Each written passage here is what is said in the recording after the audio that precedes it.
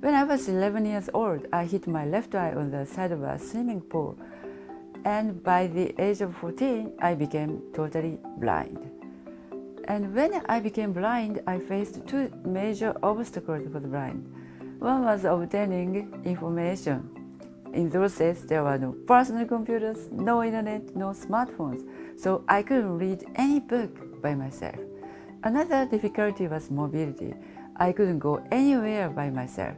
That became my strong need and pushed me and ignited me uh, to innovate new technologies. Now my research focus is the development of AI suitcase.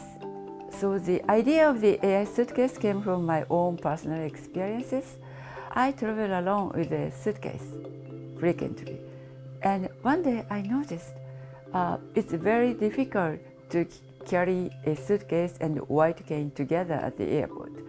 So I thought if we can integrate uh, AI, perception, control, and planning into a suitcase, it's going to be my new travel companion.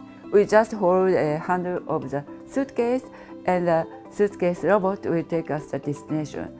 It means we can enjoy surroundings like, you know, oh, it's a nice weather today, or oh, I can hear the good music, you know. I don't have to worry if someone is, you know, coming in front of me, or oh, there might be some trash can in front of me, you know. We don't have to worry anything about related to collision.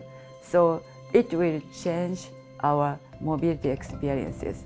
In the future, we see lots of robots helping people with disabilities. In this way, we can narrow the gap between people with disability and people without disability.